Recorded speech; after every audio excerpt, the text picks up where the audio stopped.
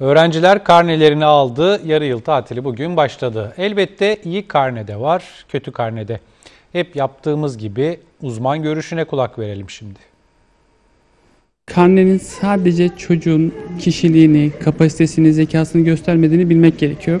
Milyonlarca öğrenci karne aldı, uzmanlardan yine uyarı geldi. Yapamıyorsun, başaramıyorsun, sen zaten hep böyledin gibi sözleri kullanmasınlar. Çocuklarını diğer çocuklarla, özellikle daha başarılı çocuklarla asla kıyaslamamalılar.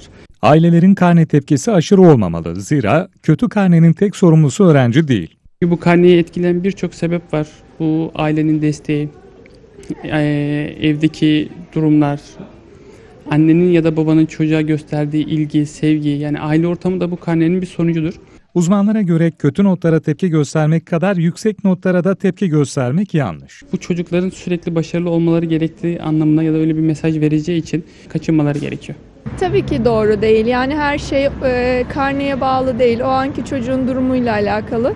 Kötü aldığında zaten kendisi üzülüyor notlarından. Baskılı uygulayarak hiçbir yere gelinmez varılmaz zaten. Yok ben hep konuşarak halletmişimdir. Torunlarıma da çocuklarıma hep öyle söylüyorum. Yani konuşarak halledin diyor.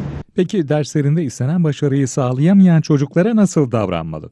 Karnenin neden bu şekilde olduğunu araştırıp problemin nerede olduğunu bulup buna yönelik bir problem çözmeye yönelik bir davranış geliştirirlerse aile için daha olumlu olacaktır. Nasıl geldi notlar? E, süper loto gibi geldi. Peki anne baba kızıyor mu? Biraz. Neler söylediler? E, ikinciden daha düzeltmemi söylediler. Bir gösterin. Yani kızıyorlar evet. neler söylüyorlar? Yani neden bu notu aldın diyorlar. Da- daha çok çalış diyorlar. Daha yükseğini alabilirsin diyorlar. dersine çalışmıyorsun işte.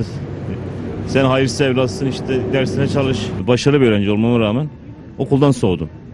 Biz bunlara maruz kalan çocuklarımıza bunu şey yapmıyor, yansıtmıyoruz yani.